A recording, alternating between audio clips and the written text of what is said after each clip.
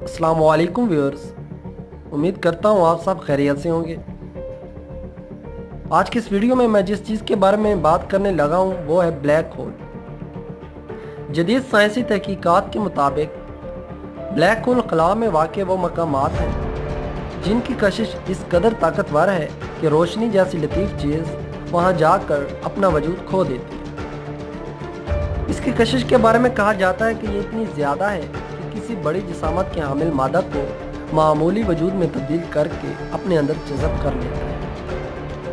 یہ اس وقت ہوتا ہے جب کوئی ستارہ اپنی عمر مکمل کر کے ٹوٹتا ہے اور بلیک ہول میں گر کر نظروں سے غائب ہو جاتا ہے۔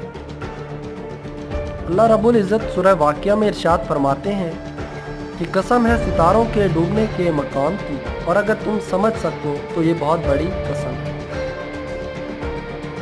ناظرین محترم، قرآن کی یہ شہادت ہمارے ایمان کو مزید تقویت دیتی ہے کہ جدید سائنس جو کہ صدیوں سے تحقیق کے بعد کائنات کے جن رازوں سے پردہ اٹھا رہی ہے، وہ ہم قریباً ڈیڑھ ہزار قبل قرآن کی روشنی میں جان چکے ہیں۔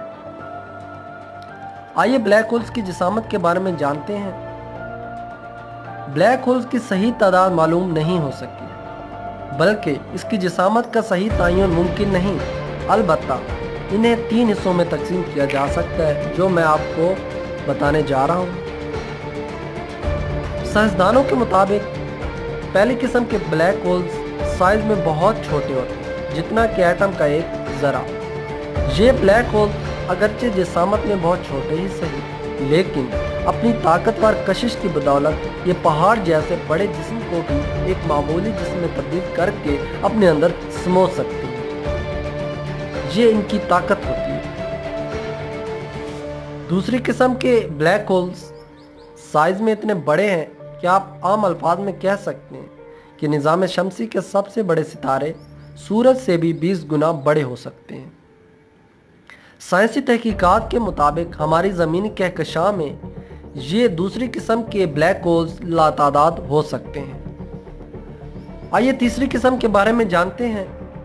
تیسری قسم کے بلیک ہولز کو سپر میسیو کا نام دیا گیا ہے، جس کی جسامت کے بارے میں سائنس بازید ہے کہ ایسے ایک بلیک ہول میں تقریباً دس لاکھ سورج سما سکتے ہیں، جبکہ سائنسدان اس حقیقت کو ثابت کرنے میں کامیاب ہو چکے ہیں کہ ہر کہکشاں کے مرکز میں ایک سپر میسیو بلیک ہول موجود ہے۔ ناظرین امید کرتا ہوں آپ کو آج کی ویڈیو پسند آئی ہوگی مزید ویڈیو دیکھنے کے لیے ہمارے چینل کو سبسکرائب کریں۔